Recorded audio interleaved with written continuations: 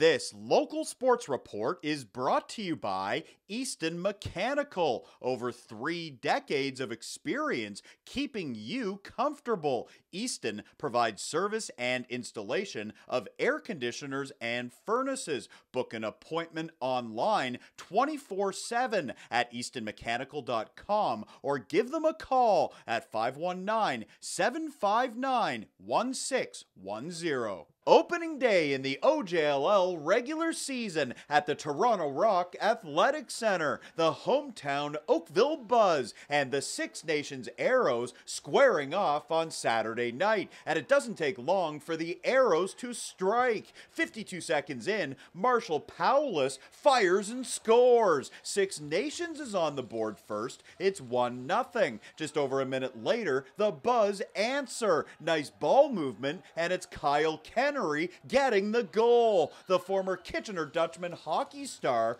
tying the game at one. Oakville looking for more. This is Kevin Dong racing in. Good opportunity. Stopped by Dustin Hill. He slams the door. Still 1 1, but not for long. Kyle Kennery with the ball, and he spots Brian Jackman. Sweet feed, nice finish. Oakville is on top. It's 2 1. Three minutes after that, Kennery grabbing it down low, and this time he sets up Eric McDonald, the Buzz, with a two goal advantage after McDonald buries it, and they keep coming. Henry Follows, is all by himself in front. He is denied by Dustin Hill. Dynamite from Dustin. It remains 3 1. Second period now, Chris Wire picks it up in his own zone, and look out, he's got a breakaway. Another big save from Dustin Hill. He stones Wire. The Arrows now trying to get something going offensively. Tyler Davis cutting to the middle. He rips it, stopped by Sam Haynes. He was solid between the pipes for Oakville. Later, Chris Dong is on the near side and he extends the lead. Dong delivering. Oakville starting to pull away.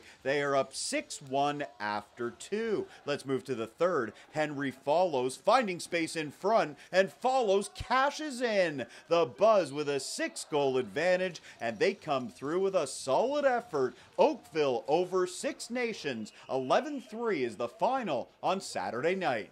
For more highlights, visit our website, 519sportsonline.ca. Be sure to subscribe to our YouTube channel and follow us on Facebook, Instagram, and Twitter.